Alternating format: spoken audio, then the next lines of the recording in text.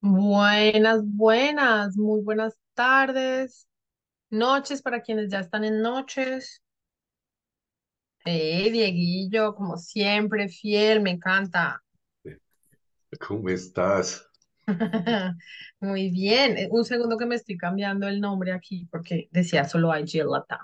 Hola Buenas Paola, noches. Mercedes, quienes están por ahí conectando ya.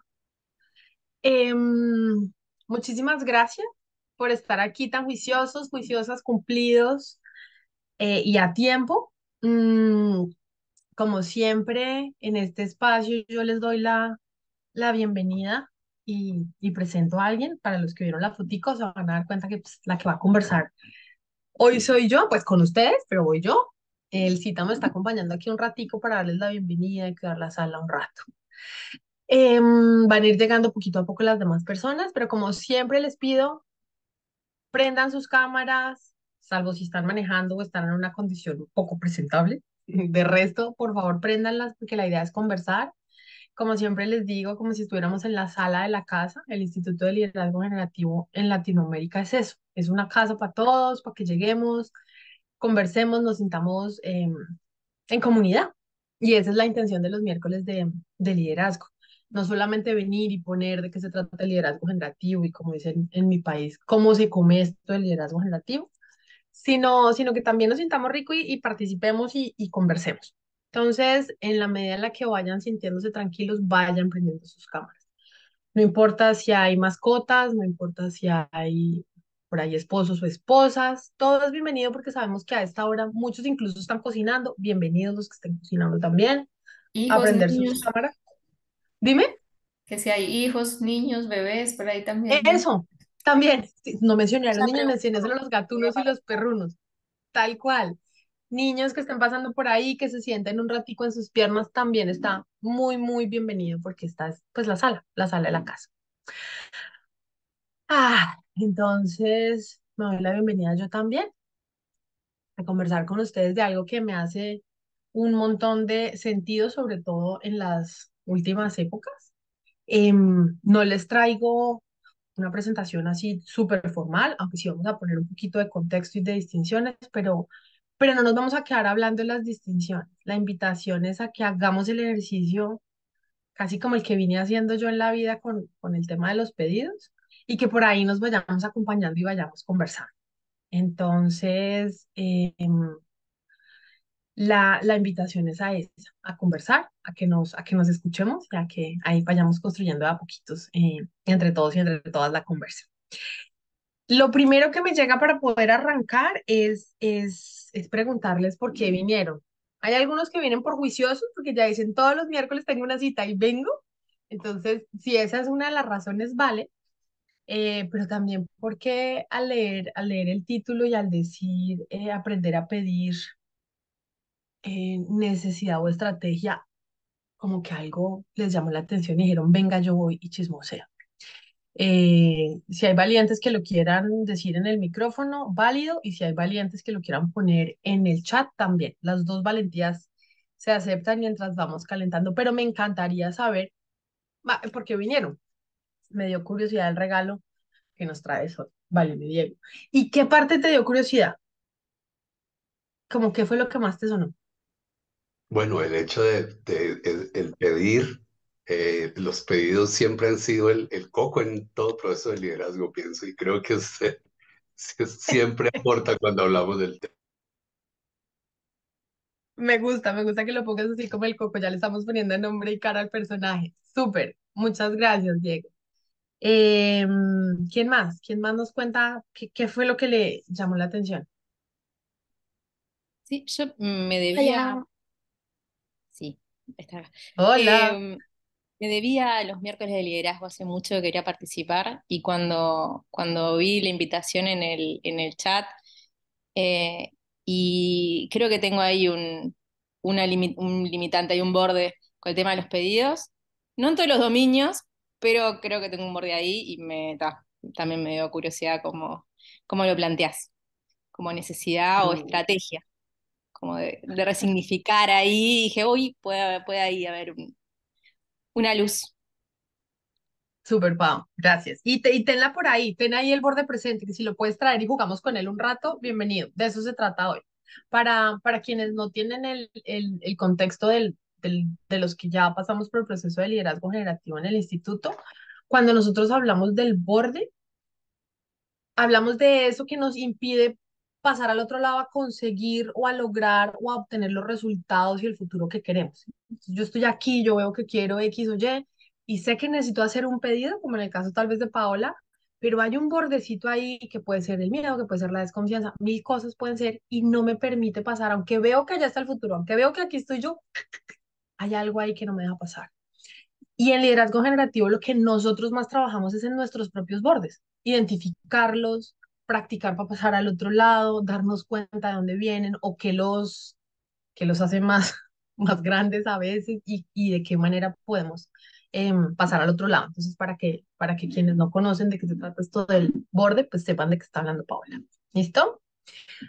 Euge, porque no me encanta verte, necesito tu carita. Si hay algo ahí que, que te impide de verdad aprender, así estés en pijamita acostadita porque estás maluca, eres bienvenida.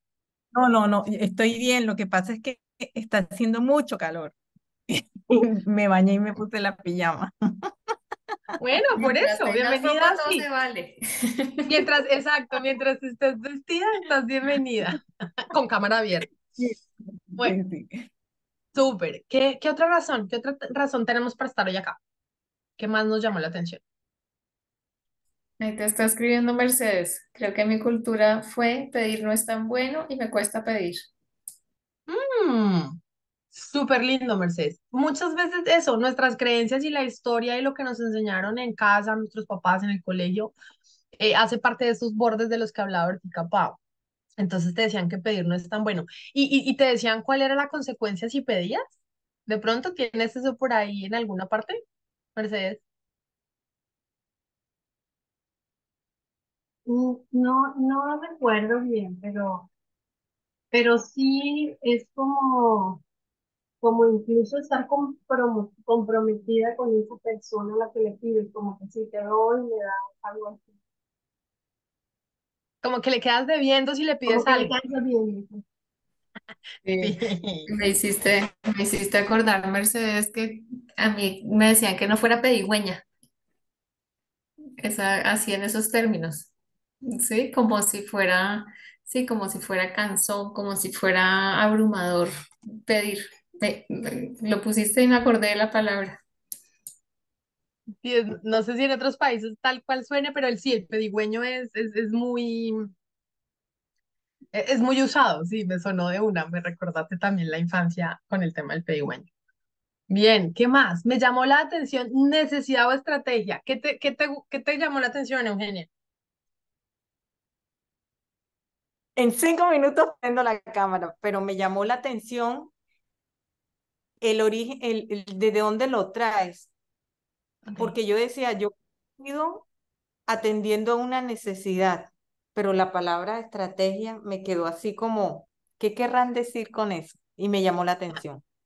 Oh, muy bien, con eso vamos a cerrar. Si se me olvida contarte, me preguntas, Euge, que claramente no se me va a olvidar porque es el foco, pero tráelo ahí, tráelo ahí pendiente.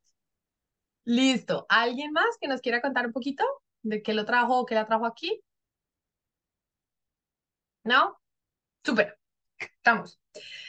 Entonces, para poder contarles un poco de la historia que, que viví yo con los pedidos, que se parece mucho, eh, arrancando por lo que, por lo que nos estaba contando Artica Mercedes y Elsa sobre, sobre el quedar debiendo y de pronto entonces empecé a identificar también un montón de bordes ahí eh, a la hora de pedir y, mm, y también el coco. Te lo voy a robar, Diego. De ahora en adelante el pedir es el coco, o sea, lo voy a institucionalizar en mis procesos. Porque para mí, a pesar de que no fue un coco, yo la primera vez que escuché de pedidos formalmente fue cerca del 2007, 2008, no me quiero ir tan atrás en años porque eso ya empieza a pesar. Pero la primera vez que yo escuché este tema de los pedidos fue 2008, 2008, sí, cuando me formé como coach. Y sí, literalmente, aunque sonaba facilito, el tema ya parecía como el coco. Entonces, un poco la historia eh, o, o el contexto que les quiero dar para que enmarquemos la conversación y, como decimos en colombiano, ruliemos un poco, tiene que ver con dos cosas. La primera es una de las estructuras mm, no, más importantes del liderazgo generativo, que es la, la conversación para la acción. ¿Sí? Y el segundo contexto que les voy a dar es, ¿qué es esto de pedir? Muy conceptualmente hablando o en términos de distinción. Para quienes están formados como coach, esto puede sonar, ah, esto ya lo sé, y la invitación a los que ya lo han escuchado es que lo escuchen con los oídos de hoy. ¿Sí? Del año que tengan de experiencia, de los 10 años que tengan de experiencia, y que lo escuchen con estos nuevos oídos a ver qué aparece nuevo y que incluso qué nos pueden regalar a todos los demás. Esperancita, qué rico verte. Eh, que les puede aparecer por ahí. Entonces, lo primero, en términos de la, de la, de la conversación para la acción, es que es una de las primeras cosas que uno aprende como coach. Y en las organizaciones, si, si yo soy honesta con ustedes, para quienes son coach y consultores, casi que sirve para resolver la mitad de los quiebres que tienen las organizaciones. Aprender sobre la, la conversación para la acción o la de coordinar acciones, que también la, la llamamos a veces así, es fundamental porque pues en últimas es gracias a las acciones y a otras historias y a otras, perdón, a otros elementos que vienen atrás, pero es gracias a las acciones que tenemos como personas, como equipos, como organización, que logramos tener resultados. Entonces, coordinar las acciones es uno, ese es el coco más grande para las organizaciones. Y después para nosotros los seres humanos, tal vez el pedir dentro de eso. Por eso traigo los dos contextos. Entonces, no me voy a alargar mucho en la conversación en ese sentido, pero sí les quiero mostrar para quienes nunca en su vida han escuchado sobre la conversación para la acción, em, cómo funciona la estructura, cómo se ve la estructura y les voy a contar un poquito de ella. Entonces, espérenme porque la tecnología me atropelló. Les voy a compartir esta imagen. ¿Ahí la están viendo? Pero chiquita, ¿cierto? La estamos pero no, ya, ahí ya. Ahora ya se agranda. Entonces, ustedes están viendo aquí la imagen de lo que nosotros llamamos la conversación para la acción o la conversación de coordinación de acciones. Entonces, voy a hacer referencia a los elementos más importantes de esto para que tengan una idea de dónde nos estamos parando. Lo primero es aquí donde, donde, perdónenme, eh, lo primero es donde ustedes se encuentran aquí en la arribita, hace un pedido. Entonces, hoy vamos a hablar de pedidos, entonces ubiquen el lugar del proceso de coordinación donde está el pedido. ¿sí? Si ustedes ven, hay cuatro nubecitas, cuatro nubecitas grisecitas que son los cuatro pasos de un proceso de coordinación de acciones. Entonces, lo primero que yo hago, como, como decía ahorita Eugenia, es que yo tengo una necesidad, así lo aprendí yo. Tú tienes una necesidad, entonces, dado esa necesidad, Tú preparas una conversación para pedirle a alguien y les voy a pedir lo siguiente. Si tienen un em, pedido que les esté rondando la cabeza, algo, que algo de lo cual necesiten hacerse cargo y que les gustaría como, mm, venga, lo paso por este, por este laboratorio que vamos a jugar este ratico acá, lo utilicen para eso. Entonces, si hay algo que ustedes necesiten pedirle a alguien y no han sido capaces, si hay algo que los tiene medio insatisfechos y creen que puede ser resuelto con un pedido a alguien, tráiganlo y empiecen a jugar con eso. Y cuando yo les digo la necesidad, ¿cuál es esa necesidad? Identifiquen.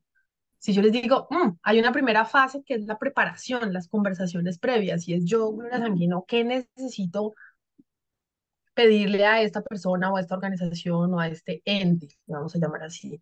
Y, y, en esa preparación, una de las cosas más importantes es lo que ustedes ven aquí adelante, aquí en el centro, que se llama las condiciones de satisfacción. Y al final van a ver por qué esto está en el centro. Entonces, si ustedes tienen un pedido, ¿qué es exactamente lo que necesitan pedirle a esta persona? ¿Cómo se llama? ¿Cómo se come? ¿En qué cantidades lo necesitan? ¿En qué fechas lo necesitan? Todas esas son las condiciones de satisfacción. Y luego, pasamos a una segunda fase de la conversación, que es la negociación. ¿sí? Y en la negociación es donde todos nos asustamos, Diego.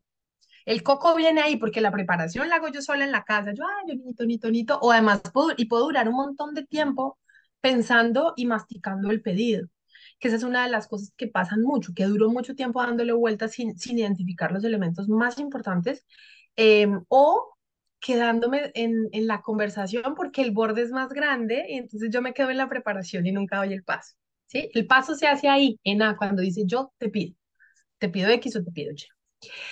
Eh, y viene esta fase de negociación en la que yo aprendí inicialmente, inicialmente, o lo que me quedó, era pues que uno podía decir que no, sí, claramente que uno podía decir que no. Eh, y también aprendí que uno podía decir que sí. Las otras dos que aparecen ahí, eh, no las tenía yo tan incorporadas en el inicio de mi proceso. Yo pensaba que era o era sí o era no. Hay dos opciones más y es que tú le puedes decir a alguien, déjame pensarlo, ¿sí?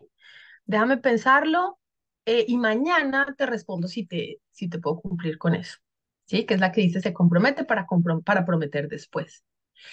Y hay otra que es la contraoferta. No, no te puedo dar esto, pero te doy esto. Esas dos al inicio de mi proceso con los pedidos no estaban muy claras. Entonces, imagínense que ustedes tienen el pedido y que ustedes van a hacerlo. Parte de la conversación mía al inicio, al no tener estas otras dos opciones, era que me, si me decían que no, ya estaba fregada. Porque si era sí o no, pues ya. Resulta que no, que tenemos opciones de negociar, de cambiar condiciones de satisfacción para que esto ocurra. Eh, luego de eso, cuando ya decimos que sí, si es que hay un sí, pues aparece la, la promesa como tal y entonces hay un proceso de ejecución que es el que aparece allí y al final la evaluación del proceso. ¿Sí? Solo quería traerles hasta aquí la conversación de la, la conversación para coordinar acciones. Hasta aquí, eh, ¿vamos bien? ¿Sí? Súper. ¿Por qué traigo la conversación para la coordinación? Es para que ustedes ya sepan en el marco de que en qué contexto es que aparece el pedido. El pedido no aparece porque sí. El pedido aparece porque hay algo que quiero lograr y para lograr eso necesito que alguien me colabore, alguien o unos alguienes me colaboren y en ese proceso activamos la conversación de la coordinación em, para la acción. Y ese es el primer contexto. El segundo contexto y aquí, em, y vayan alzando la manito si tienen algún comentario o alguna pregunta. El segundo contexto es esto de que es un pedido. Entonces, tienen ustedes, ay, aquí voy a hacerle quiz a los coaches. Cuando yo les pregunto a ustedes qué es un pedido, ustedes como qué es lo primero que les viene, qué es lo primero que les llega, qué es un pedido. Si me quieren ayudar. Hacerme cargo de una inquietud o algo que necesito. Como repartir. Ah, hacerme cargo de una inquietud, repartir, por aquí escribieron una necesidad. Un acto lingüístico. Se me puso súper ontológica, doña Esperanza, muy bien. Pau, ¿qué dijiste que no te alcancé a escuchar?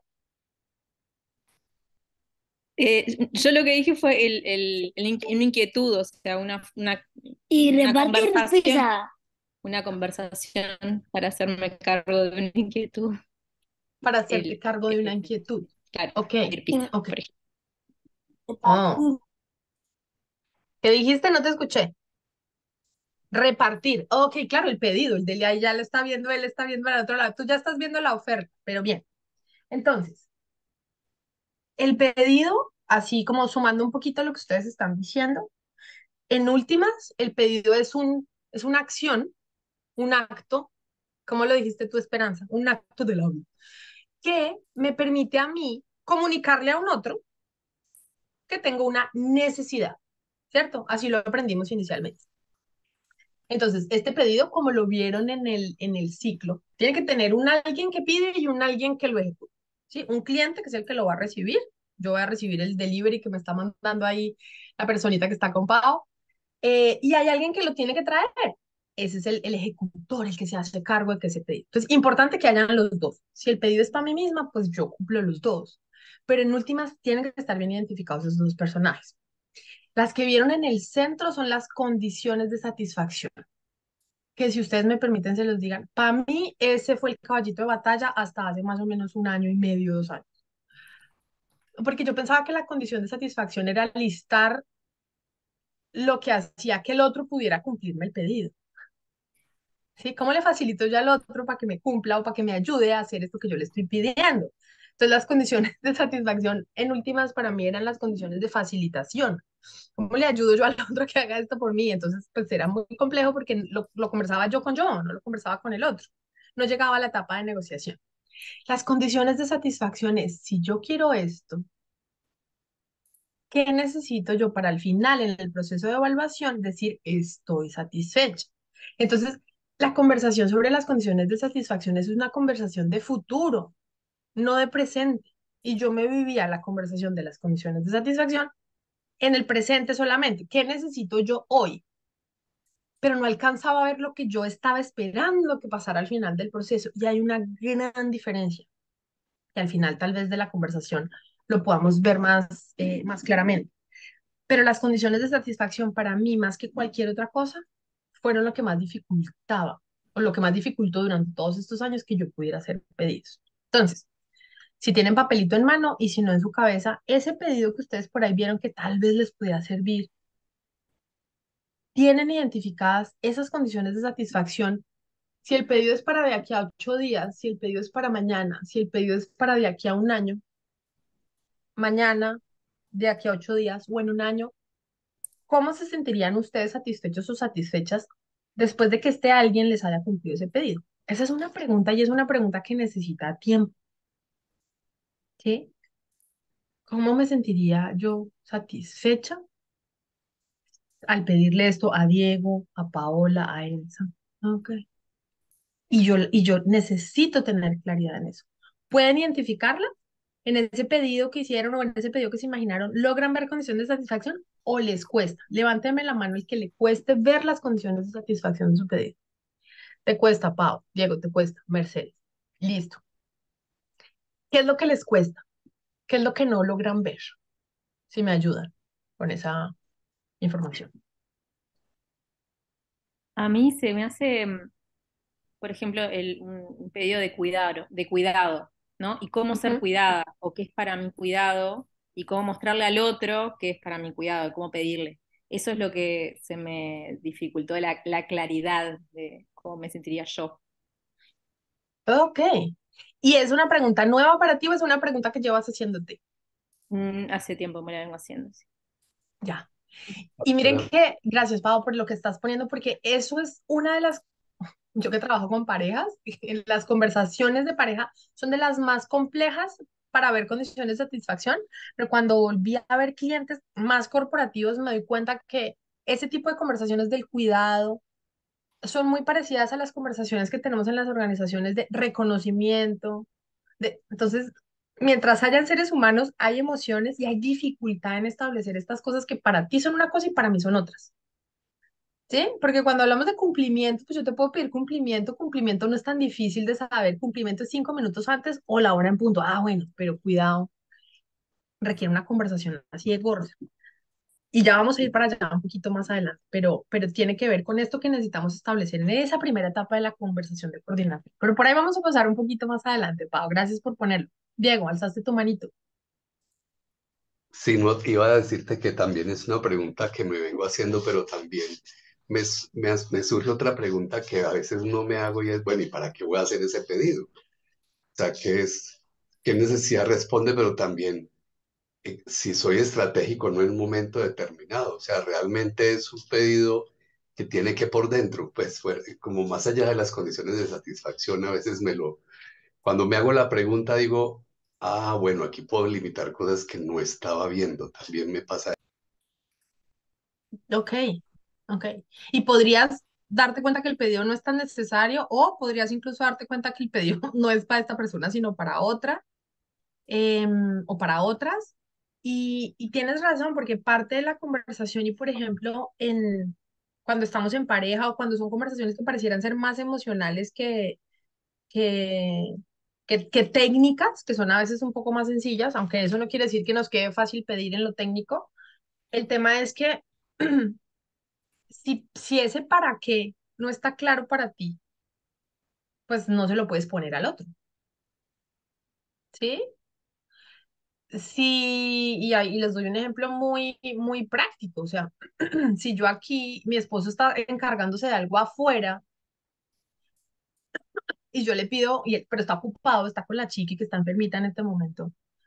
Y, y, él, y, él, y yo le digo que me traiga un vaso de agua y él va a decir, pero a ver, o sea, ¿para qué? Si yo estoy acá ocupado. Él está ya en algo que, que requiere mucho más de lo que yo requiero acá, tal vez el vaso de agua en su cabeza. Si yo le digo, me estoy ahogando, trae un vaso con agua porque estoy aquí atorada. Ah, bueno, tal vez él elija distinto porque ya sabe el para qué. Y este es un ejemplo súper simple y tal vez básico, pero por ahí pasa el tema de las condiciones de satisfacción, cuando tiene que ver con cómo voy a salir yo al final del proceso de coordinación y, y, y, y con que el otro me diga que sí o me diga que no, porque tiene una razón que comparte conmigo o no.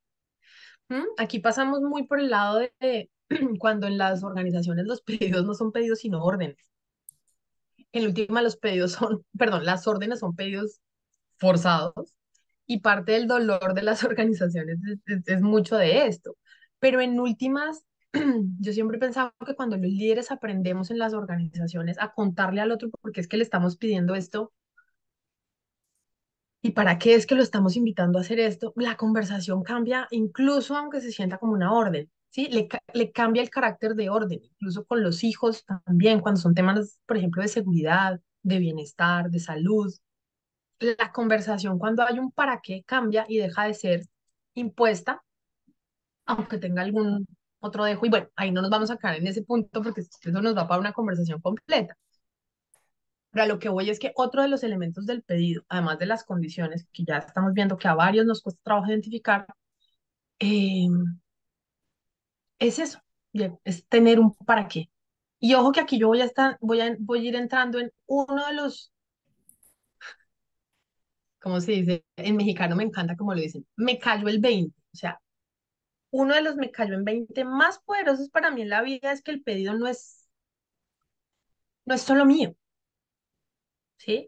Cuando yo empiezo a ver condiciones de satisfacción, Pau, como que es para mí cuidado, necesito poner una conversación. No solo puedo listarlas, tin, tin, tin, tin, necesito ponérselas y que me diga, uy, espere, pero ¿cómo así? No, pues yo no estoy dispuesta a eso, o yo no veo eso ahí, estás exagerando, y empezar a darle forma a eso que tú y yo que estamos estableciendo este pedido, necesitamos que, que quede claro para que el otro pueda saber cuándo y qué es cuidado para ti, ¿sí? Y lo otro es ese para qué que tú trajiste, Diego. O sea, si yo no tengo claro el para qué, no se lo puedo poner al otro o al otro. Ay, que le estoy pidiendo, es que tiene que entender. Yo necesito que el otro sepa en el lugar en el que yo estoy para que de esa manera esté comprometido o no, si es que no lo está, con esto que yo le estoy pidiendo es lo que me, que, que me ayude, con este pedido que yo estoy intentando hacer. Entonces, para recoger, y ya te doy la, la palabra, Patricia, necesitamos que haya un alguien que hace y un alguien que pide, o sea, un ejecutor y un cliente, lo llamamos generativamente, un ejecutor y un cliente. Necesitamos que haya unas condiciones de satisfacción, que son el, la estructura que nos va a permitir jugar con el pedido, saber si fue cumplido, saber cómo ejecutarlo. Entonces, si no hay condiciones de satisfacción, no pidan hasta que no las tengan claras o empiecen a elaborar la conversación con el otro, pero identifiquen sus condiciones de satisfacción. Requiere un tiempo. En ocho días, en 20 días, en un mes, durante todo el año, necesita tener un tiempo. Necesita tener el para qué que estás poniendo tu Diego, para que el otro entienda para qué es que le estás pidiendo lo que le estás pidiendo. ¿Listo? Ahí vamos, nos falta uno todavía. Patricia, Hola, cuéntanos. buenas tardes a todos. Hola. Gracias. Eh, tengo una pregunta. ¿El, el para qué debe ser parte de la conversación del pedido? ¿Qué opinas tú? Y luego te digo yo qué opino. Eh, pues yo creería que sí, porque hace parte como del contexto de poder em, hacerle saber al otro, eh, pues, para qué es el pedido que se le está solicitando. ¿Es así? Sí, ¿O y no voy a decir exactamente. necesariamente? Mira, seguramente hay organizaciones, incluso hay parejas, incluso hay familias eh, donde el para qué no es tenido en cuenta. Y ahí es donde hay mucho dolor. Y ahí es donde hay también mucha insatisfacción. Eso lo hemos visto nosotros con la experiencia que tenemos trabajando en organizaciones. Y yo lo he visto mucho con la experiencia que tengo trabajando en parejas. Porque no es lo mismo para ti cumplir con un pedido al que tú no le ves sentido que un pedido al que sí le ves sentido. ¿Sí? Para mi esposo dejar de hacer lo que está haciendo por venir a traer un vaso de agua cuando él está cuidando a la niña, pues es como, a ver, o sea, estoy cuidando a la chiquita. Pues yo le digo, me estoy ahogando. Ah, ahí hay un para qué, que hace que el care que le está cuidando cambie. porque él no va a dejar de cuidar a la chiqui por tres minutos que venga a traerme un vaso de agua, pero si no sabe que yo me estoy ahogando, no tiene el mismo sentido. El pedido no es y en las una... organizaciones, en las organizaciones, el hablar de ese para qué, eh, como que baja un poco el nivel de, de que sea una, una, ¿cómo se dice? Una orden a hacer una petición. Podría decirse que sí, igual también si el tono de nuestro jefe o del jefe en cuestión del que estamos hablando siempre es en este tono, así lo, así lo esté pidiendo con el para qué le va a sonar a orden. Pero lo importante es que incluso, y ojo que también hay distintos momentos, pero ya vamos para allá, el que a mí me den una orden que yo no le encuentre sentido, pero que yo esté en una organización donde no puedo decir que no, hace que lo termine haciendo, pero no le estoy viendo sentido, estoy insatisfecha y tengo sufrimiento en esa organización, que eso es parte de lo que vemos que pasa mucho, ¿sí?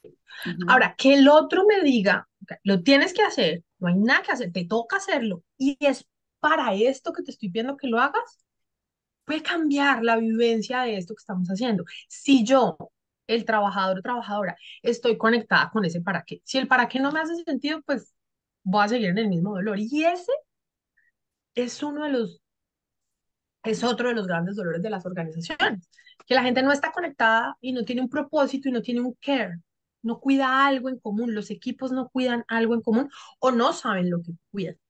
Entonces, muchas veces la invitación que nosotros hacemos y el trabajo de consultoría que nosotros hacemos arranca en la gran mayoría de los casos por ahí. ¿Cuál es el care de este equipo? ¿Cuál es el care de esta organización? ¿Cuál es el care de esta pareja? ¿Sí? Paola quiere pedir cuidado por ella o quiere pedir cuidado por la pareja. ¿Sí? Desde ahí es desde donde nosotros empezamos a construir una conversación alrededor del pedido que no es solo del que pide, sino de los dos. Y ahí es cuando el pedido cobra su poder, podría decirle yo. ¿sí? Cuando deja de ser solo mío, solo de Gloria que necesita algo. ¿Listo? Claro, y ¿Sí? también es de doble vía, ¿no? El que pide más el, el, el- la respuesta de lo que uno pide. Y, y una última pregunta. Eh, ¿cómo manejar eso que tú dices de, de porque a, a veces, o sea, mm, algunas dinámicas se lleva a que a pesar de que se hace el pedido, se tiene la conversación, se da el propósito o el para qué ese- esa petición, y sin embargo la otra persona como que no, no la capta, como que no la recibe y, y hay como cierta fricción, o sea, ¿cómo hace uno para poder llegar como a esas, a esa, a esa intimidad de que, de que cuando hay fricción, generalmente es cuando se presenta eso que lo reciben como una orden y no como una petición que hace parte dentro de las labores que debe desarrollar, para no caer Hmm, como en esa fricción de este, de, o sea, lo, lo veo desde los dos lados porque estaba en los dos lugares. ¿Cómo, cómo, cómo hacer ahí? Mira, para mí, y, esta, y esto vuelvo y te digo, para mí, y esta es una conversación que nos daría para una completa, la, la conversación para la acción, que es la que nos permite coordinar a través de los pedidos y de las ofertas, es una conversación que toma tiempo, no es una conversación que se hace en tres segundos. Hay pedidos que son inmediatos. Se prendió la casa, ahí no, ahí no hay pedidos, ahí hay órdenes, el que sabe, sabe, y nos dice por dónde salir y salimos. Ahí yo creo que no hay nadie que se quede. Desde ese lugar de urgencia a estos otros de, ay, por favor, o porque hay muchas maneras de pedir, o el, esto te toca hacerlo porque tú trabajas acá y si no lo haces, pues te vas. Hay un montón de opciones, ¿no? Y todas las organizaciones se mueven desde distintos lugares. Lo que nosotros practicamos es que si tú estableces un liderazgo en la organización que, que, que estructure la conversación para la acción como una práctica regular, donde todos los que trabajamos en el equipo sabemos incluso que podemos decir que no, que podemos decir que sí, que no. Venga, le digo en un ratico, eh, mañana me comprometo porque tengo que revisar algunas cosas antes de decirle que sí, o decirle, eso no se lo puedo dar, pero le puedo dar esto. Cuando nosotros como equipo o como organización sabemos que tenemos permiso para hacer eso, toda la conversación y toda la coordinación de acciones pasa por el bienestar común o por el propósito o por la promesa que estamos cuidando como equipo. Entonces ahí la orden no me duele. Puede que me la dijiste duro, puede que me la dijiste rápido, pero yo ya sé para qué es. Y yo ya sé ¿para qué tengo que hacer esto? Y yo ya sé que eso es parte de la promesa que estamos cumpliendo juntos. Y ahí es donde la, la conversación para la acción se vuelve tan poderosa. Pero es un proceso que toma tiempo en las organizaciones y que se tiene que aprender. Fíjense nada más, yo desde el 2008 llevo un montón de tiempo tratando de aprender a pedir. Dieguito, yo no sé hace cuánto que tú escuchaste por primera vez los pedidos y todavía sigue siendo el coco. Pero es una práctica que se puede aprender y nosotros le enseñamos eso a los equipos. Nosotros les enseñamos a los líderes a abrir espacios de confianza donde la gente realmente pueda decir que no. Porque cuando la gente dice que no, tiene permiso para decir que no, perdón. Cuando dice que sí, es porque sí lo va a hacer. Pero es un proceso que toma tiempo en los equipos. No quiere decir que no se pueda hacer. ¿Sí? Pero entonces la conversación, si es con, si es con todo el equipo, es porque allá hay un malestar que hay que ajustar. Si es con una persona en particular, pues es una conversación en la que, a la que necesitamos a llegar, llegar donde le ponemos a la persona qué es lo que importa de su trabajo en, este, en esto que estamos haciendo juntos como equipo, porque eres tan importante tú acá, porque es importante que tú hagas esto, esto y esto. ¿Sí? Tu labor es importante acá por esto. En este equipo cuidamos esto. Y dado estas cosas que necesitamos cumplir, si tú no haces la parte tuya, pues esto no funciona y montar a las personas en una conversación de valor, de propósito, de sentido, porque ahí hay algo que les importa cuidar. Si no les importa cuidar, siempre lo van a hacer como, como la orden, como lo que hay que hacer, con, con lo que pues me toca cumplir porque es mi trabajo y es lo que me da la papita al fin del mes.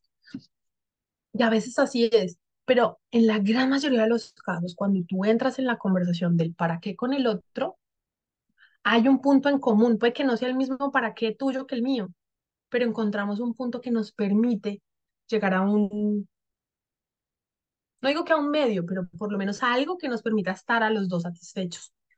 ¿Sí? ¿Te sirve, Pati? Súper. Listo. ¿En qué estábamos? Me fui por allá. Súper, muchas gracias, muchas, muchas gracias. Con mucho gusto.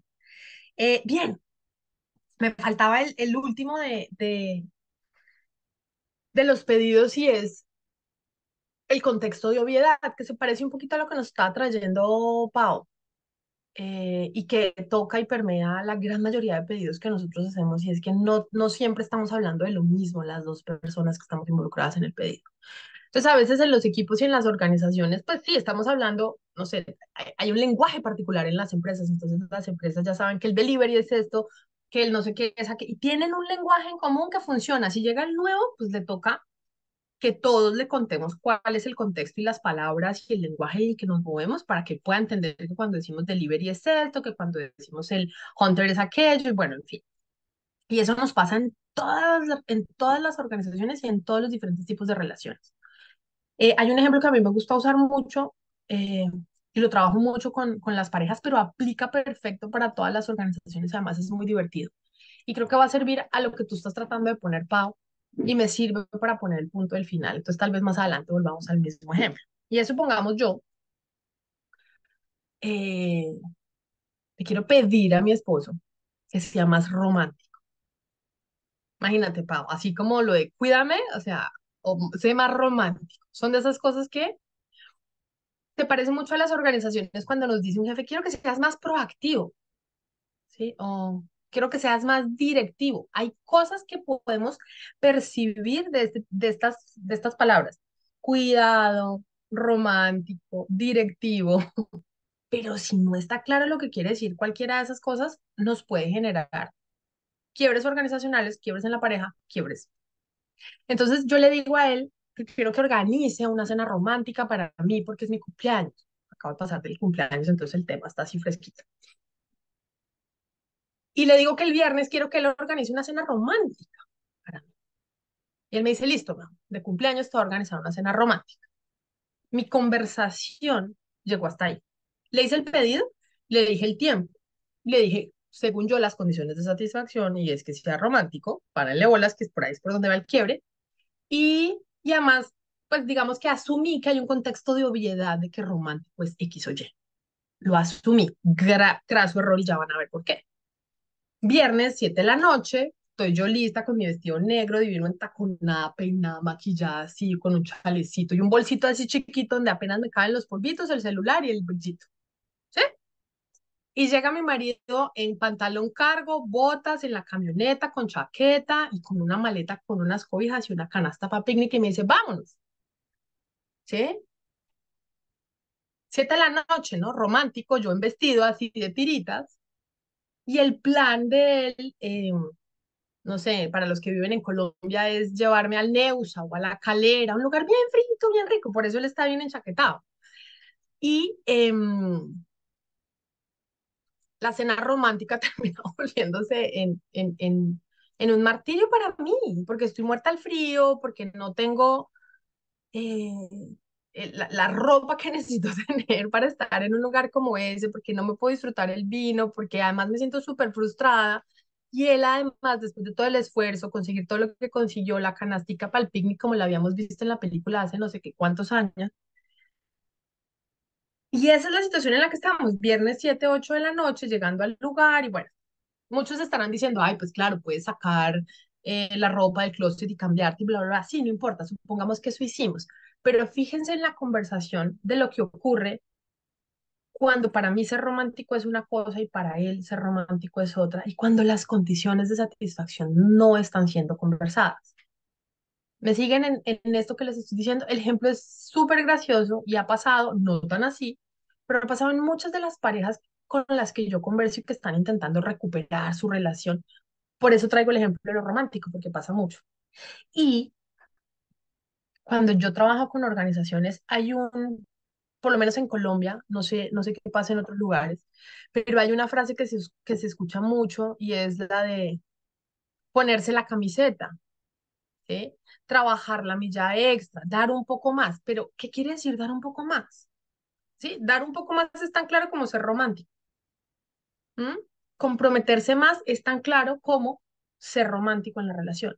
Entonces, cada vez que ustedes quieran hacer un pedido y quieran que ese pedido sea efectivo, necesitan identificar las condiciones de satisfacción. Ustedes. Mis condiciones de satisfacción para la cena romántica era en un lugar donde yo pueda eh, usar el vestido negro precioso que me compré, donde me pueda poner mi, mi chalinita y no me muera el frío, ¿sí? Donde comiéramos rico, donde hubiera vino, donde, ¿sí? Todas esas eran las condiciones de satisfacción, que pudiéramos comer, que durara de tal hora a tal hora más o menos, ¿sí? Y no las puse, solo dije romántica. Creo que hasta, creo que hasta en, la, en, en, en la historia es, va con vino, romántica con vinito, pero yo digo con vino. ¿sí? Pero en una, en una mantica deliciosa. Eh, eh, y el problema ahí no fue él como ejecutor del pedido, sino que yo no estaba lista para hacer el pedido de la manera en la que se necesita hacer. ¿Sí? Entonces, si el trabajo que tenemos que hacer es el de identificar las condiciones de satisfacción, eh, ¿qué creen que necesitamos nosotros para poder hacerlo? ¿Qué es lo difícil ahí? ¿Qué es lo difícil de poner las condiciones de satisfacción? ¿Qué creen?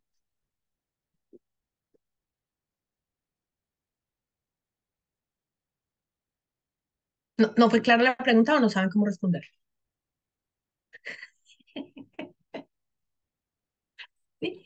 sí. Yo creo que cuando, cuando hoy nombraste lo de la temporalidad, ¿no? De que hoy espero algo, pero más adelante, o sea, ¿cómo voy a medir esa satisfacción una vez que el pedido sea ejecutado, digamos? Y es como también entre, hoy que necesito esa proyección de, pa, lo que yo necesito en realidad es lo que me generaría satisfacción o lo que creo que hoy necesito o quiero o me gustaría, es lo que, es como esa, no sé. En gran parte. Súper, Pau, gracias. O sea, el ejemplo que tú traes está fantástico porque por ahí es por donde atraviesa mucha de la duda porque no es tan evidente. Si yo te tengo que pedir un informe de, de ventas del lunes al martes, pues eso es más fácil. Pero cuando te tengo que pedir este tipo de cosas tan, tan cerquita a las emociones es un poquito más difícil. Carlos nos dice convertir los juicios en afirmaciones. ¿Nos quieres contar un poquito más, Carlos? No, no te entiendo convertir los juicios en afirmaciones. No te entiendo. Cuéntame un poquito dónde estás, Carlos. Ah, no estás prendida la cámara. Pero ¿nos puedes contar un poquito más a qué te refieres con eso, Carlos?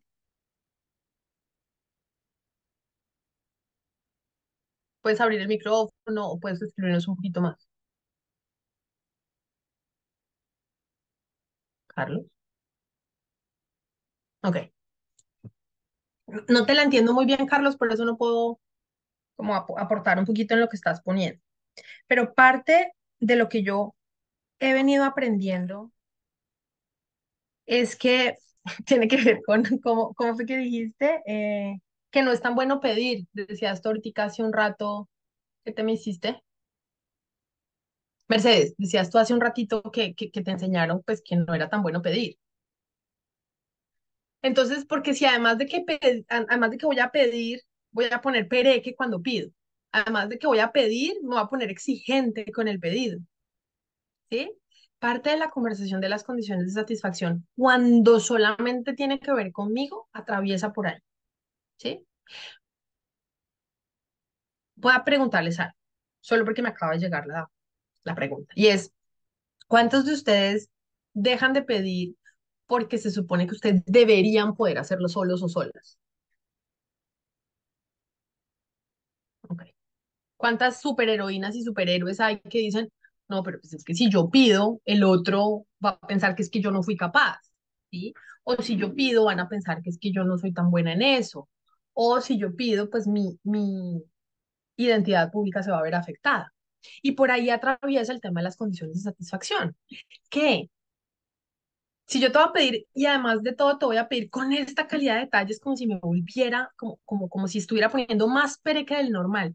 Y en nuestra cultura, eso está muy arraigado, nuestra cultura latinoamericana. Eso está muy arraigado. Usted calladita, usted no diga nada, usted llega donde la tía y no le diga nada. Sino que, que yo quiero jugo, tía. No, no, no, no, no pida jugo. Desde chiquitos nos están diciendo, no sea pedigüeño. Si además ahorita, cuando a mí me enseñan en el 2008 que yo necesito aprender a pedir y que para aprender a pedir necesito poner condiciones, digo, brutos. O sea, voy a pedir y encima de todo voy a pedir con condiciones, no, está complicado. Entonces, toda esta historia que nosotros traemos de, de, de no pedir porque no es bueno, de pedir chiquito, hace que sea mucho más difícil ver las condiciones. Y ya te doy la palabra esperanza. Por ahí, y ojo que solo estoy hablando de mí, de la persona que pide, porque ahorita nos vamos a ir al otro lado, pero mucho de la, de dificultad que tenemos con las condiciones es que, es que verlas es como, como, como sin, a ver, ¿cómo lo pongo? Poner las condiciones de satisfacción es difícil porque en muchos casos no sentimos que merecemos toda esa especificidad al final del, del proceso. Mucho cuando es en pareja, mucho cuando es en cuestiones muy cercanas a, a, al- a la emoción, ¿sí? Y, y, y y yo les estoy trayendo esta historia desde mi vivencia, por eso trae cosas más desde ahí que desde la parte muy técnica en las organizaciones, pero aplica igual. ¿sí? Cuando yo le pido a alguien, por favor, hazme un informe de, en Excel con estas y estas condiciones, pero no le digo que lo quiero con las, con los cuadritos en rojo porque lo necesito en rojo, bien sea porque me gusta o porque quiero presentarlo con el otro informe que yo ya hice en rojo. Me parece que pedirle que lo haga en rojo es too much, es demasiado, o le estoy como control freak o estoy microgerenciando. Y a veces es por eso, pero otras veces es porque lo necesito en rojo, entonces ¿por qué no le digo? Me llega el informe que yo le pedí y no me llega en rojo. uf, Me va a tocar a mí ponerle en rojo. Pues que yo no se lo pedí, no fui capaz de ponerlo porque pensé que era demasiado pedir hasta allá. ¿Sí? Y es una de las cosas que ocurre, no la única. Bueno, Esperancita, cuéntame. Eh, mira, eh, hola, me encanta verte. Una de las dificultades que, que yo veo con las condiciones de satisfacción es con los equipos de innovación, cuando tenemos creativos. Entonces, claro, o sea, es como que más o menos sí hay una, unas condiciones de satisfacción en cuanto a presupuesto y se necesita, no sé, un video y que en el video diga, eh, básicamente exprese esto, pero cuando el líder llega y le presenta al equipo creativo el video o, lo- o la campaña publicitaria o lo que sea, y no le gusta, ¿sí? Entonces hay mucha frustración. Entonces, como que, listo, condiciones de satisfacción, pero si pongo todas las condiciones de satisfacción, se fue la creatividad para otro lado, porque para qué tengo un equipo de creativos y innovadores y no sé qué. Pero si no me Sí. gusta, la frustración en doble vía es muy grande, entonces yo ahí no sé cómo, cómo manejarlo de las condiciones de satisfacción, ¿sí? Porque es que es como que quiero que el equipo vuele, pero a la vez me, si me traen cosas pues muy, muy, sí, que no me gustan, porque es que también en el gusto es una cosa muy terrible ahí que uno no sabe ni qué, ¿sí? Entonces, bueno, ahí es, esa es como la dificultad. No sé qué, qué, qué experiencia tengas tú con el manejo de los específicamente equipos de marketing, de creativos, de, sobre todo ahora los muchachos que son tan creativos. Entonces, ahí y tan rápidos además. Ojo, lo que tú estás poniendo, estaba buscando el ejemplo y me lo acabas de traer, y es tal cual como el ejemplo mío del romanticismo, el de Pau del cuidado o el de la creatividad. El tema no es el pedido, el tema es que pensemos que el pedido es uno y que no se puede ajustar. El pedido es un video con X condiciones de satisfacción. Hoy, 27 de septiembre, lo conversamos, lo vemos, el equipo creativo dice, listo, sí, chévere, te entendí, pero hay un tiempo de ejecución de la promesa, el mismo tiempo que se demora el ser romántico, el mismo tiempo de, vamos a llamar, de prueba de, del cuidado del que está hablando, por ejemplo, Pau. Y en el camino se pueden ajustar cosas, pero tiene que haber espacio para que eso pase. Ok, vamos a arrancar con esto del video, listo. Pero me vas a ir mostrando, porque en la parte del, de la imagen y del crop que quiero del video necesito ciertas cosas, entonces me vas mostrando. Lo demás hazlo como quieras, tú elige los modelos, eso es tuyo, pero en el cropping y el no sé qué, quiero que me vayas mostrando porque ese punto es delicado para mí y es muy importante. Entonces, en todo lo demás, haz tu trabajo como tú quieras, en esto muestra. Y durante todo el proceso de ejecución, vamos poniendo momentos para chequear. ¿Sí? Entonces así no pasa, que yo duré 10 días haciendo un video y cuando lo mostré no gustó. Ay, pero me lo vas mostrando, me vas mostrando y te digo, mm, mm, devuélvete aquí un poquito porque no era así. ¿Sí? En términos de cuidado, cuidado es que me llames todos los días. Bueno, empecemos con que me llames y me mandes un mensajito todos los días. Listo. No, todos los días fue mucho. Venga, un, un día sí, un día no. ¿Sí? O, y vamos ajustando para que al final del proceso, día de entrega del video, 10 días después, o mes de prueba que dijimos a ver cómo nos va con esto del cuidado, vamos chequeando y vamos viendo. ¿Sabes qué? No, es mucho, bajémosle un poquito. No, es muy poquito, subámosle un poquito. Porque las condiciones de satisfacción tienen todo el derecho de ser ajustadas con el tiempo, ¿sí? Con el proceso del pedido, ¿sí? Del pedido no, de la promesa, el pedido nos genera es una promesa. El cita, Dímelo. Por, alguna razón loca, Zoom no me deja levantar la mano hoy. Pero te oía, te oía este, qué rico verte. Eh, y también creo que hay otro espacio que está antes de la ejecución, que es la negociación, que también hay un espacio para poner condiciones de satisfacción y sobre todo para como para acordar y negociar condiciones de satisfacción. A mí me pasaba mucho que me decían condiciones de satisfacción y para mí las condiciones de satisfacción las tenía el cliente.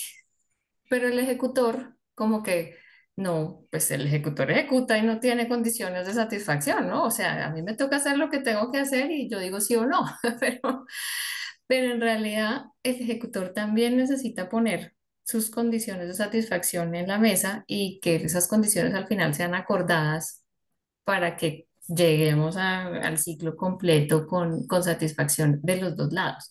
Entonces, cuando pones eso, creo que es como, como justo entre, entre ponerlas, pero también estar abierto a escuchar cuáles pueden ser las condiciones del ejecutor que para el ejecutor sean más viables, eh, más fáciles, más, eh, que tengan más sentido, pero como poner la conversación desde el principio. Yo creo que el, el miedo y el susto está como en, en encasillar desde un principio, pero también si no ponemos, si no ponemos rayas en el cuaderno, como que pueden irse las cosas por lados que, que al final no funcionen. Entonces, te escuchaba y, y como que me llegaba el, el espacio de negociación de las condiciones de satisfacción con voz del cliente, pero con voz también del ejecutor y con apertura del cliente a escuchar Sí, esto es lo que yo me estoy imaginando y más o menos pintémoslo, pero pues escuchemos también qué se está imaginando el otro y entre los dos acordemos.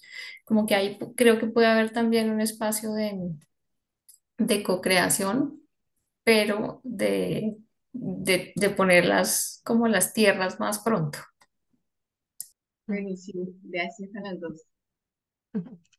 Y, y te, te me adelantaste un paso, pero voy a saltar de una para allá al cita, porque a- además al, al, al saltar vi el tiempo y dije, bueno, vamos a poner eh, ritmo a esto. Y es cuando, cuando yo empecé a entender que esto de pedir era súper necesario y que yo necesitaba aprender a pedir, yo lo aprendí primero en la pareja y después fue que lo pude llevar a las organizaciones. Por el momento de vida, porque estaba migrando, porque tuvimos hijos, hijos no, una hija, y porque yo decía, pero es que desde el 2008 yo aprendí esto y no estoy haciendo nada y todo lo que le pido a mi marido no pasa, ¿sí? Quiebre gordote. Y ahí fue donde yo empecé a desafiar el tema de los pedidos y de la manera en la que yo pedía. Gracias, Elcita. Un besito. Por el aporte ahí de, de, de al final para Esperancita.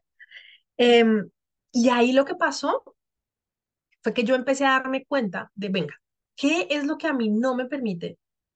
Si ya tengo la técnica, porque ya tengo la técnica para pedir, tienen que tener condiciones de satisfacción, tengo que tener todo lo que ya les he contado, y con el adicional que les pone el cita de, venga, esto hay que conversarlo en la negociación y luego hay que hacerle eh, el acompañamiento durante el proceso de ejecución y al final hay que hacer una evaluación para ver si nos sentimos satisfechos o no. Todo eso yo lo tenía en la técnica, pero ¿por qué Gloria no es capaz de coger y escribir las condiciones de satisfacción? ¿Y por qué Gloria cuando pide em, se sigue sintiendo, y lo voy a poner en primera persona? Cada vez que yo tenía que pedirle a alguien, yo sentía que no estaba siendo capaz. Y aquí les voy a contar mis bordes personales y les pido que se vayan conectando con los de ustedes. ¿Cuáles son esos bordes? Tú ya viste, Pau, el tuyo creo, no lo has puesto claramente, pero yo creo que ya lo viste. Y ahí van, y han, han, ido poniendo algunos como lo que les aparece. Em, y esto yo lo estoy contando muy desde lo personal, pero a cada ser humano en las organizaciones, llámese pareja, familia, empresa, comunidad, le- les pasan bordes a la hora del pedido. Y son bordes que vienen desde la historia de infancia, como nos decía el cital, no sea pedigüeño, como nos decía ahorita también Mercedes, ahí aparece la información de que pedir no es bueno. Todo eso está instalado en nosotros. Les voy a contar lo que a mí me pasaba, y era que yo me sentía chiquitita. Yo aprendí a hacer, hacer, hacer, hacer, súper ejecutora, y soy muy buena haciendo. Usted me dígame qué hay que hacer, que yo ya lo tengo en la mitad del camino arrancado. Pero yo, a mi manera, como yo sé que se hace, a la velocidad que yo sé que se hace, Y al necesitar pedirle a otro, para mí la conversación interna y lo que hacía el borde más grande era, no eres capaz, Gloria, por eso tienes que pedir ayuda. Entonces la Superwoman se veía bajita de poderes o sentía que podían juzgarme, digamos, en el trabajo, por ejemplo, si pedía. Y todo eso hacía que para mí pedir fuera más costoso que sobreesforzarme. Es más costoso ir, pedir, sacrificar mi identidad pública ¿sí? Hacerme chiquita que sobreesforzarme, trabajar y trabajar, perdón, no, trasnochar y hacer todo yo sola. Y así me viví la vida muchísimos años, habiendo pasado por el proceso de coaching inicialmente, entender lo de los pedidos, entender el poder de los pedidos y enseñarle, ojo, en casa de herreros a de palo, enseñarle a mis coaches a pedir. ¿eh? Pero cuando yo empecé a trabajar con parejas, porque fue la comunidad que empezó a aparecer alrededor mío, cuando yo empecé a echarle ojo a cómo funcionaban las cosas en mi pareja y cuando empecé a aprender y a formarme en esto del liderazgo generativo, vi como la, vi la luz, vi el, lo que me ayudó, ¿sí? Eh, y ya les voy a contar qué fue, para el final, porque se queden hasta el final, como en las películas. El poder darme cuenta que me sentía chiquito me conectó con mi borde de la insuficiencia. O sea, para que yo esté satisfecha es muy berraco. ¿Sí? Y dije, ok, hay un borde. Vayan viendo los suyos. A mí no me interesa que ustedes solamente sepan cuál es mi historia. Quiero que vean las, las, la de ustedes. Y si les aparecen cositas, tomen nota. Cuando yo empecé a decir, claro, es que si él no lo hace como yo quiero que lo haga, entonces yo sentía que era micromanage ahí como en el asunto y que todo tenía que hacerse de la manera que yo quería y que era un tema de control. Y sí, porque había una gran desconfianza mía en que las cosas se fueran a hacer bien. Yo estaba acostumbrada a hacerlas yo sola. Entonces dije, pucha, yo no confío en la gente. para mí que soy toda chévere y que tengo amigos, sentir que yo no confiaba, o sea, eso fue una cosa compleja de ver. Claro, confío en relaciones, confío en amistades, pues a nivel laboral me cuesta decirte tú haz esto que yo me quedo tranquila. Brutos, eso es un borde grandote cuando quieres construir cosas más grandes y cuando quieres hacer equipo. Eh, y cuando eh, sentía que los otros iban a juzgarme mm, o, o o incluso a valorarme menos, podría ser, o a juzgar que yo valgo menos porque pido ayuda, ahí me, está, me empecé a dar cuenta que mi conexión con mi valor no tenía que ver con quién yo era, sino con lo que hacía. Entonces, claro, como voy a hacer menos porque te voy a pedir, entonces valgo menos. Brutos. Sí, o sea, para mí los pedidos fueron un espacio de aprendizaje increíble. Y yo sentía que si pedía me iban a decir que no, pues claro, con toda esta historia atrás, sin condiciones de satisfacción, sintiéndome chiquita, sintiéndome insuficiente, sintiendo todo eso, pues claro, yo entraba a pedir y ¿cómo pedía? Lista para que me dijeran que no. Yo casi que pedía para que me dijeran que no. Entonces no pedía claramente, no pedía tiempo, pedía en, en el borde, ¿sí? O pedía, en el caso personal, pedía muy cuando la persona no está lista para escuchar el pedido.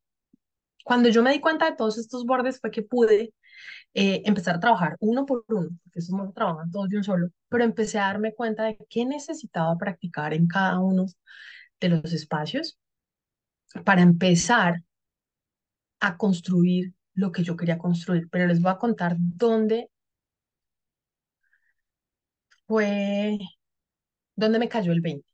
Gracias a los mexicanos por esa expresión, porque no hay otra en ninguna otra lengua hasta ahora. Si la tienen, me la cuentan.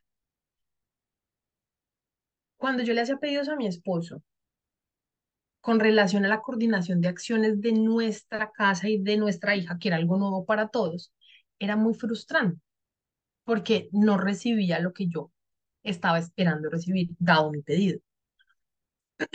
Pero entonces el pedido era para mí.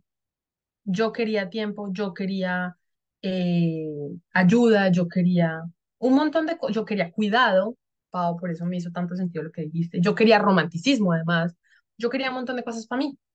Entonces yo pedía para mí. Y desde ahí me costaba pedir porque era para mí y yo había, había aprendido que uno no pide para uno, sino para los otros. Y además, pues se quedaba chiquito el pedido. Y un día yo me pregunté, ¿yo para qué quiero el tiempo? ¿Para qué, Diego? ¿Está tú para qué? ¿Yo para qué quiero que el papá haga todo esto que yo estoy diciendo que haga? ¿Yo para qué quiero romanticismo? ¿Yo para qué? Empecé a hacerme la pregunta por el para qué. Y me di cuenta que yo solita no iba a encontrar esa pregunta, perdón, esas respuestas. Y empecé a ponerle la conversación al papá, no solo del pedido, sino la conversación. Oye, estoy viendo que nos pasa esto. Y esto aplica en los equipos. Eh, Patti, creo que eras tú la que estaba diciendo ahorita que, que, le- que la persona siente que es una orden y no se conecta y entonces como que ah, ahí hay una cosa, no me acuerdo cuál fue la expresión que usaste, pero ahí hay algo que no permite que la persona fluya. La misma conversación, oye, siento que nos está pasando que cada vez que hablamos de esto o cada vez que yo te pido esto, lo que termina pasando es que tú haces de mala gana, yo, yo no me siento satisfecha con lo que haces y en últimas no pasa lo que queremos que pase. ¿Cómo queremos cuidar este espacio tú y yo juntos? Y esa fue la pregunta del millón. Pau, ¿estás que te hablas? ¿O estás que te despides? Sí, que me, que me despido, perdón. En la mejor parte, Paula, ves grabada después, por favor, porque este pedacito iba para ti. El remate lo tengo que, lo tengo que ver. De la Listo, estrategia. Tan, tan, tan. Claro, la parte de la estrategia. Para allá iba. Buenas noches, disculpa la interrupción. Tranqui, Pau. Buenas noches. Y ahí fue donde yo encontré, en eso que acaba de decir Pau, que esto no era una cuestión de mi necesidad que yo quería ver satisfecha, como había aprendido en un primer momento. ¿Sí? Yo no pido para satisfacer una necesidad mía. Sí, en algunos casos, tráeme un vaso de agua. ¿Sí? Pero cuando yo pienso generativamente, que fue lo que me cambió a mí el switch, gracias a, a, a nuestra querida Mari, es que cuando yo pido desde el contexto de lo generativo, yo estoy pidiendo no, no solo para mí, estoy pidiendo para una promesa que me importa a mí y al que le estoy pidiendo, para ti, para el equipo, en el trabajo. Cuando yo cambié la conversación de mi amor, lava la loza y yo cocino, o de llega más temprano para que yo pueda ir a no sé dónde, cambió la conversación de pedidos específicos chiquitos por ven, ¿Cómo queremos vivirnos la vida de papás? Hicimos una promesa más grande y el pedir fue la única manera estratégica de llegar a esa promesa más grande. ¿Sí? Si yo me hubiera quedado con pedidos chiquitos, por pura necesidad de tiempo, necesito ir al eh, peluquero a cortarme el pelo. Entonces yo pedía una hora de tiempo para irme a cortar el pelo. Eso era un pedido así chiquito. Para una promesa chiquita conmigo, que era cortarme el pelo. ¿Sí? Cuando yo empecé a conectarme con el discurso generativo, lo que vi es que yo no pido para mí, yo pido para la promesa. Y mi universo entero cambió. No sé si esto les haga algún sentido o les cambia un poquito el switch de lo que estamos conversando. Dieguito, y si quieres poner algo ahí también. Eugen. Y luego sigo hablando yo. Dale, pasaste la manita. Eh, a mí, a mí me, me, me vuelve a poner en la promesa. Porque cuando decía, eh, si yo hago el pedido o no hago el pedido, pues si hago el, si hago el pedido o no hago el pedido, eh, me pasa lo mismo que a ti, o sea, en el sentido de que me hago cargo y, y yo lo hago y, y de repente a veces me doy cuenta que, que, por ejemplo, mi esposo me dice, ven, estamos eh, cenando en, en un lugar diferente al comedor. Y me dice, yo llevo tu bandeja. Y yo me quedo así como, como extrañada, porque, porque no es como lo habitual, porque yo me, yo lo hago. O sea, yo hago, yo llevo mi bandeja. Eh, pero cuando dijiste, es que no, no es para mí, sino para algo más grande que es la promesa, me quedé pensando en las promesas de mi map nuevamente.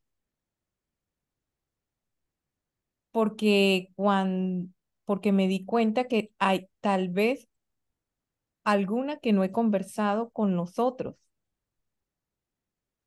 para poder pedir. Por ejemplo, la que hice con mis hijos, no la he conversado con ellos.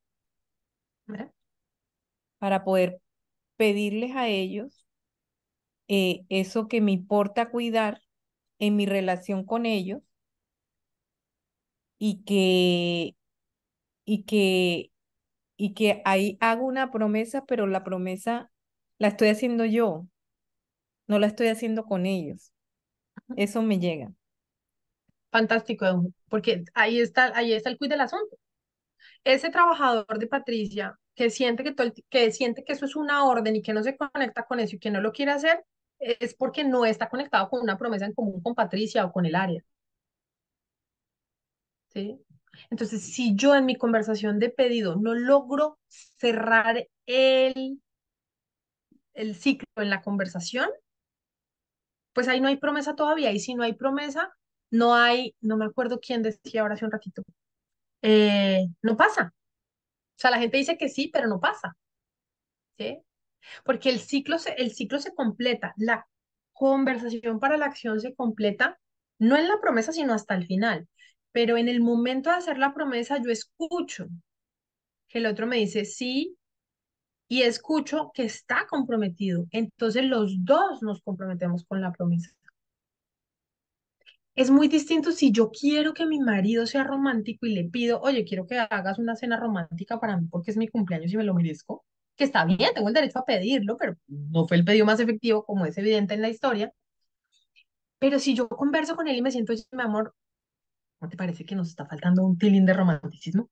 Ah, sí, pero qué romanticismo. Tú sabes que a mí no me gustan las cenas con pelas en los restaurantes. No, no, no, no es eso, pero un vinito de vez en cuando, así como las velitas, pero no en el restaurante, sino, ah, ok, ¿Y qué más es romanticismo? No, no sé, florecitas, que nos consistamos, nos rasquemos la cabeza mientras vemos una película. Y empezamos a hablar de qué es romanticismo para nosotros dos, qué es cuidado, en el ejemplo que nos decía Pau. ¿Qué es esto de dar la milla extra o ponerse la camiseta? ¿Esto que ponerse la camiseta es qué? Ah, ok, y lo conversamos. Ok, lo podemos volver una promesa. ¿Sí? trabajar para ser, para que, nos, para que nosotros, no sé, al final del año seamos más románticos, con unas condiciones de satisfacción y con unos, unas acciones de pronto de todos los viernes hacer alguna cosa los dos juntos. ¿ah? Entonces, ya no soy yo, Gloria Sanguino, la que está aquí sentada esperando con el vestido de tiritas a que el hombre llegue a darme lo que yo estoy esperando que pase, mi necesidad, ¿sí? Sino que estratégicamente él y yo, si queremos llegar a algún lado juntos en términos del romanticismo, si él le interesa también, si no le interesa, pues la conversación, iba a decir la conversación no es con él, pero eso iba a sonar feo, la conversación es otra, ¿sí?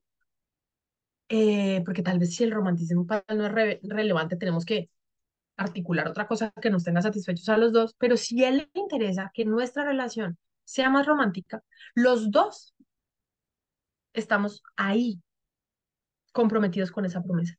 Y el pedido se vuelve una estrategia. Entonces, si yo quiero este viernes una cena romántica, porque mi necesidad me dice que si no es romántica, entonces no me celebro mi cumpleaños como era, ok, el pedido suple una necesidad cumple con una necesidad. Si yo miro más grande y veo la relación de pareja de mi esposo y yo, ahí estamos hablando de estrategia. ¿Me siguen la diferencia? ¿Sí? Y estoy hablando de un ejemplo muy, muy, muy personal, pero pongámoslo en las organizaciones. Si yo le quiero pedir a un colaborador que ejecute X acción. Eh, pongamos un ejemplo. No sé, que me corra toda la base de los leads nuevos que llegaron y que los llame a todos y les cuente que el CSG 1 empieza en abril. Eso es lo que yo le quiero pedir. Lo pide. Perdón, lo hace. Ese es su trabajo, es un call center. Para eso es que está contratado. Y está chévere. Pero resulta que los, pues, los llamo a todos, pero pues no, fue como que... Si yo me siento con esa persona y con los demás del call center y les cuento lo que implica que una persona haga el programa CCG, para los que ya han estado ahí, para los que no después se pueden ir enterando, es que es un programa que transforma la vida de las personas, es que es un programa que transforma la vida de las personas que están alrededor de, la, de esas personas, es que es un programa que hace que haya bienestar, que, que además haya prosperidad, eh, que IG Latam quiere que Latinoamérica sea una región de primer mundo y dejemos de ser de tercer. Yo le cuento todo eso a esta persona. Le digo, venga, usted trabaja aquí conmigo porque a mí me importa cuidar eso. ¿A usted cómo le suena eso? Pero yo no sabía que hacíamos todo eso por eso. Ah, listo. Ahora, adicional a eso, pues hay unas comisiones, por ejemplo. Si usted me cierra este, pues pasa esto. Si está, ah, ok, también. Entonces la conversación no es yo le digo qué hacer y que lo haga, sino que los dos, y pues involucro a todo el call center, está comprando, está participando, está comprometido con la promesa, que es cuál? Que haya cada vez más gente en Latinoamérica que conoce el liderazgo generativo. Sí, la promesa no es pasar por los 100 leads de la, de la lista. Esa es una acción. La promesa es esta. Entonces la conversación del personaje cambia. La conversación mía cambia. Y además abre el espacio para que cuando él le mamera llamar, perdónenme el español, es distinto cuando me da jartera porque Patricia se ríe, porque hay que mamera llamar, sí, ya me aburrí, ya son las cuatro, sí, ya voy a hacerme aquí y no llamo, es distinta la conversación cuando lo que tiene que es cumplir con las 100 llamadas a cuando se conecta con, pucha, es que esto es bienestar para la gente. Romanticismo, bienestar, cuidado, ¿sí? Esas son promesas que nos comprometen como seres humanos. Esos son cares que nos mueven a hacer cosas. Y cuando yo pongo el pedido como una estrategia para lograr esas promesas grandes, cambia todo el sentido y la gente empieza a hacer y la gente empieza a responder. Y yo no voy a decir que soy una experta en pedir, pero desde que ocurrió el quiebre que ocurrió con, con nuestra CEO en marzo, yo tuve que aprender a pedir ya más efectivamente, porque yo estaba cuidando una cosa más grande que mi sueño, o sea, que mi sueño del de dormir. que antes eso era lo que yo intentaba cuidar cuando que pedía, pero pedía ahí chiquito para yo seguir haciendo, para poder tener el control, para que nadie se diera cuenta que yo no era capaz, porque todavía por ahí andaba en los bordes, en algunos. Y cuando me di cuenta que la promesa era más grande, fue que dije, ah, es que yo le voy a pedir a la gente que venga no por mí, es porque la promesa es más grande. Y también me ayuda a mí, claro, ahora duermo más. Pero la conversación cambia por completo. ¿Y saben qué pasa también? Que puedo yo lograr escuchar si el otro está comprometido o no, porque estamos hablando el mismo lenguaje, estamos hablando de lo mismo. Si yo le digo a mi marido quiero que sea romántico, pero él no sabe qué es esto de romántico, entonces me dará caras como, eh, bueno, sí, y yo escucho incomodidad en él y de pronto le compro el sí porque me conviene, pero si él sabe que estamos hablando en términos de romanticismo, los dos estamos conectados con la misma promesa, los dos hablamos el mismo lenguaje. Yo ahí me conecto con él y digo, sí, sí está comprometido. Y él puede hacer lo mismo conmigo. Ella está comprometida. Entonces los dos lo vamos a cuidar. Lo mismo pasa con esta persona con la que tú trabajas, Pati. Cuando esta persona está conectada con algo que a e, esta persona también le importe cuidar, la conversación es completamente diferente. Dieguito, dale.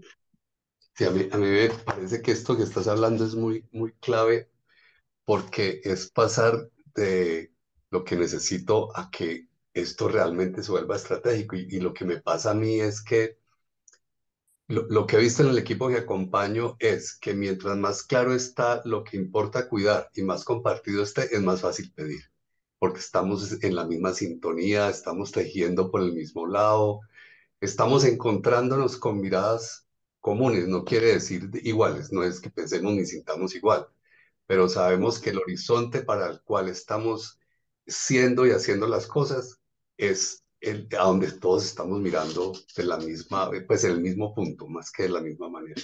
Entonces me parece muy chévere esto de, de no pedir solo para mí, sino tener en cuenta que estoy pidiendo para algo más grande, que es una promesa, que es lo que realmente importa cuidar. Total.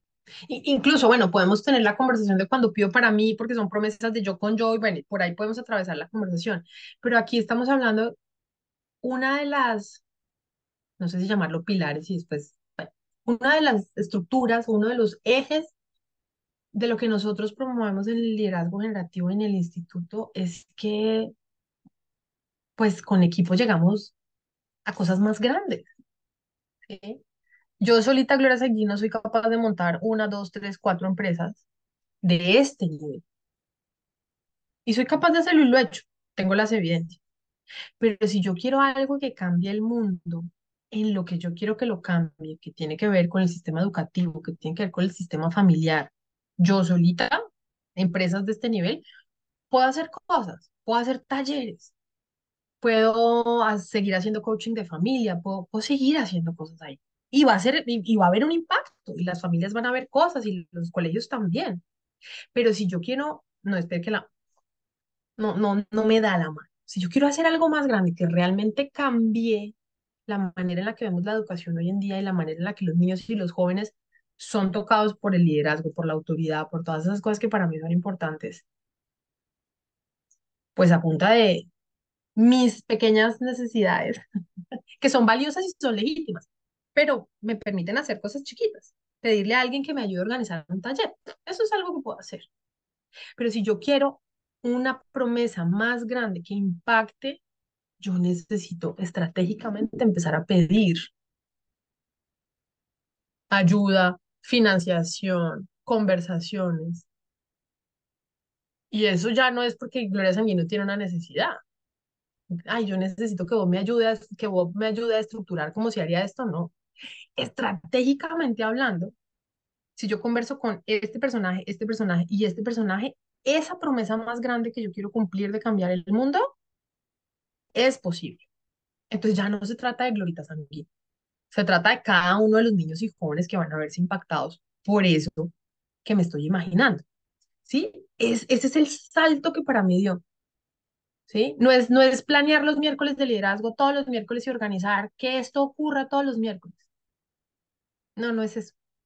es que cada vez más personas en Latinoamérica, ustedes los que vienen seguidos, ¿sí? Y los nuevos que aterrizan cada vez, cada vez es una persona nueva que escucha esto que nosotros hacemos y que hace parte de la comunidad.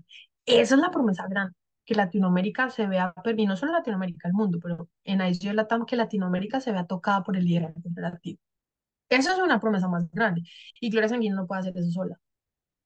Entonces necesita estratégicamente empezar a pedir y pues los bordes se han ido achicando, les cuento, poquito a poquito.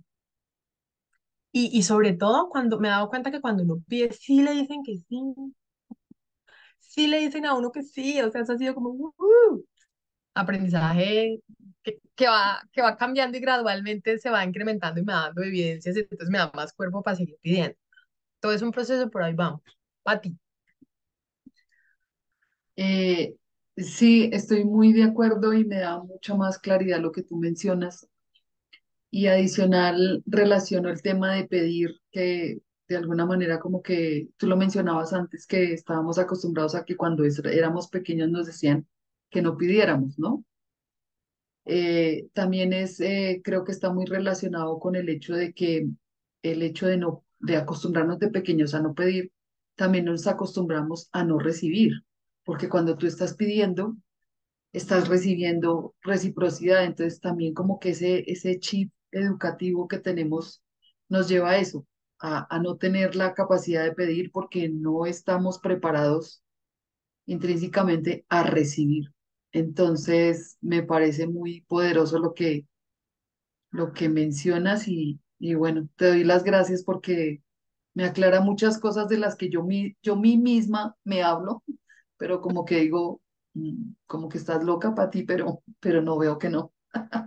Porque hay cosas que he aplicado, pero hay otras cosas como tú dices que me cuestan y todavía estoy en el camino de aprender y bueno, esa es la idea. Muchas gracias. Sí.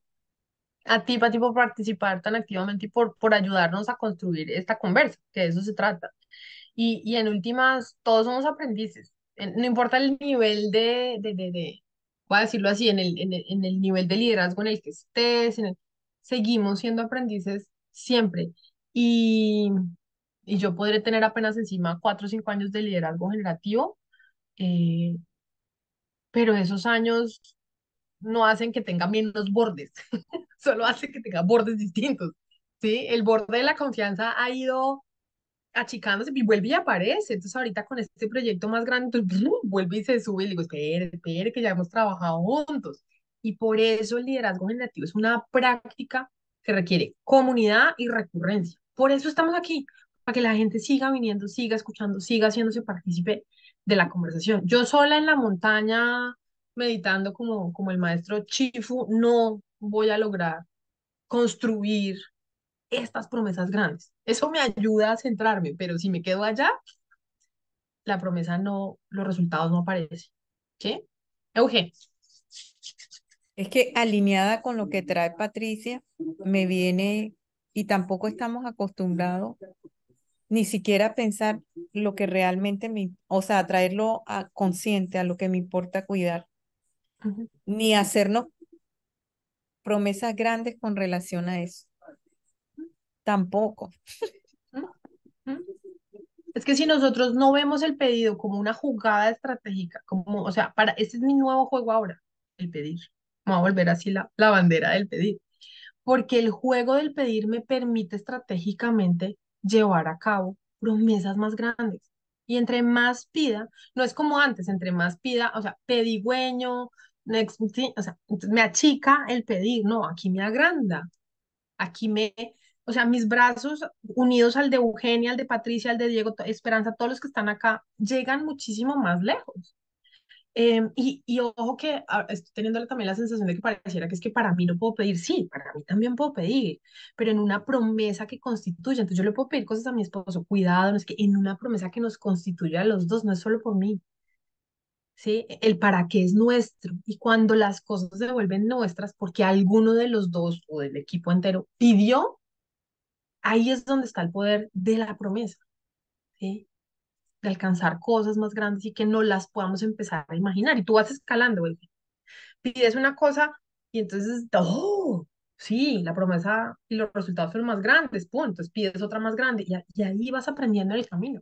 No vas a pedir de un día para otro em, para promesa, o sea, no vas a saltar de una promesa chiquita a una promesa gigante de un día para otro, porque tu cuerpo necesita ir aprendiendo en el camino. Pero si tú practicas todo el tiempo, vas logrando ese cuerpo, vas logrando esa presencia y vas logrando esa sensación de, ah, vea pues, al revés, pedir me hace más grande, no me achica. Pedir es una habilidad que fíjense los que alcanzamos a alzar la mano acá, nos cuesta a todos. Ah, yo lo estoy haciendo, mira, resulté ser más competente porque pido que menos competente. Pero ese es el ejercicio de mirarse en el proceso de aprendizaje, em, pues en el que estamos todos como seres humanos y que es la invitación de este espacio de, no solo del- de los miércoles, sino en general del instituto. Ah, ¿vieron? Entonces, estrategia o necesidad. Estrategia. A tejer con las dos, ¿no? Sí, sí, necesitas, no, no puedes dejar de estar viendo una, o sea, no puedes dejar de ver que hay necesidades que necesitan ser satisfechas. Eh, pero a mí me cambió la conversación al, al conectarme con el care, ¿sí? Que a veces no es, no viene de la necesidad, sino de la conversación con el otro. Y ahí es donde yo conecté, ah, mi necesidad de romanticismo es una conversación de care con mi pareja. Y, y ese ejercicio con las parejas con las que trabajo ha sido fantástico. Entonces, sí, traer el care a la conversación y hacer el pedido que nos permita cuidar eso que nos importa juntos, la estrategia ganadora. Bueno, ¿cómo se van? ¿Satisfechos? ¿Más o menos? ¿Satisfechos y satisfechas? Listo. Me encanta haberlos visto. Quienes son nuevos, bienvenidos. Quienes nunca aprendieron su camarita, espero algún día poderles ver la carita. Siempre son bienvenidos acá. Nos vemos la próxima semana, misma hora, mismo canal. Eh, van a recibir la información como siempre vía internet y los que están en los grupos también les va a llegar la información. Carlos, te quedo debiendo la conversa porque tarde me di cuenta que habías respondido a la pregunta. Entonces, un abrazo para todos y para todas. Descansen, vayan a papachen a las familias, los que tengan por ahí cerquita a la gente, sus mascotas y cuídense mucho. Gracias, Glo. Abrazo. Chao.